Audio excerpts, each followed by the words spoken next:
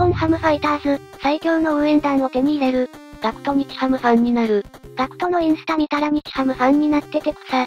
ガクト野球は全く興味なかったけどなぜか今では日本ハムファイターズを応援しているこれがファンになるということか。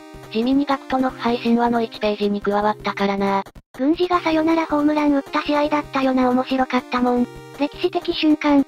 ガックン日ハムファンになってくれたなんて本当に嬉しいです。私も一度野球を見てどんどん好きになってたことを思い出しました。またぜひ北海道にいらしてくださいね。わかるきっかけってありますもんね。日ハムも北海道も球場も初めての始球式も新鮮でよかったですもんね。ガクト様。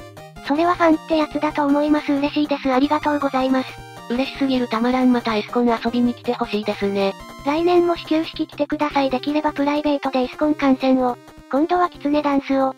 つよつよ援軍嬉しい。強力すぎる一流芸能人様からの応援を得られたなんて。わかるある日突然生まれるファイターズ愛。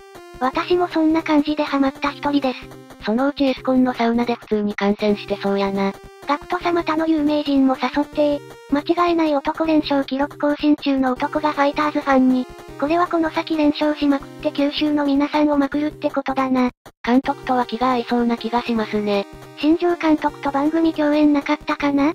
仲良しだと勝手に思ってました。新庄剛志学とローランドは同じ匂いがします。ガックン日ハムへようこそ日ハムはとても魅力のあるチームなので応援してても楽しいと思います。これからも応援してもらえたら嬉しいです。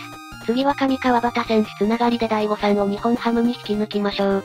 さあ先日の始球式でも素晴らしいパフォーマンスを見せてくれたガクト様ですが、そのガクト様をファンにしてしまうファイターズはやはり12球団の中でも魅力的なチームなのではないでしょうか？ぜひぜひ皆様の考えも教えてくださいね。ご視聴どうもありがとうございました。